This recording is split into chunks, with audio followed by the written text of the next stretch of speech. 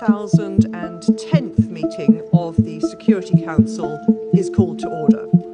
根据国际人道法，平民在武装冲突中应免遭任何形式的暴力。针对平民的袭击不可接受，也不应该发生。有关布查镇平民死亡的报道和画面，令人十分不安。事件的相关情况和具体原因必须查清。任何指控都应基于事实，结论得出之前，各方应保持克制，避免无端指责。